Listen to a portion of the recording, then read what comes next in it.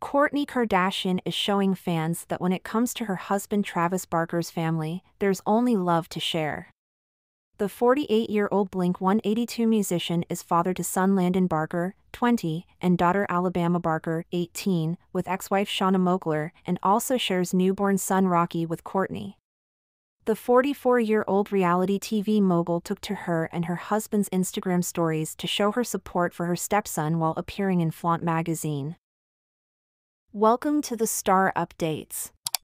Please don't forget to subscribe and hit the notifications bell so you don't miss any of our upcoming videos. Both Kourtney and Travis took to their social platforms to share their pride in the young musician, reposting the center photo of her from the shoot, in which she shows off her tattoos in an oversized green vest with sheer black panels and black trousers with wide legs. The couple also enjoyed the story, in which Landon not only talks about his music, performing with Idol Machine Gun Kelly, and his love of fashion and body ink, but also finds inspiration from his father as artist. The young man says he grew up surrounded by music and powerful bass in his parents' house, thanks to his father.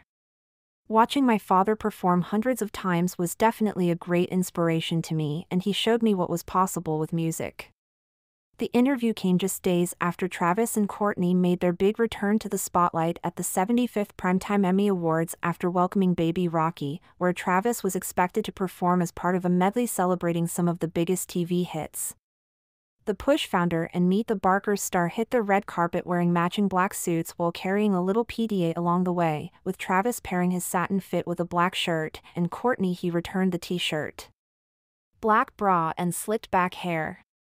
The couple, married since May 2022, have been wearing a lot of matching outfits lately, mostly in black, especially when it comes to several layers for the holidays.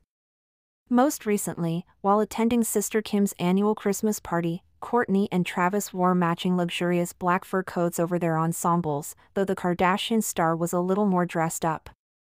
Underneath, Travis wore a suit and tie, while Kourtney opted for a black bodysuit with sheer tights, sharing photos of her postpartum struggle to fit into her wardrobe on her Instagram. If you still can't stay in the closet much and your breasts are full of milk, wear a warm coat, she wrote, though sister Khloé encouraged her when she replied, If you're a bad guy anyway, lad.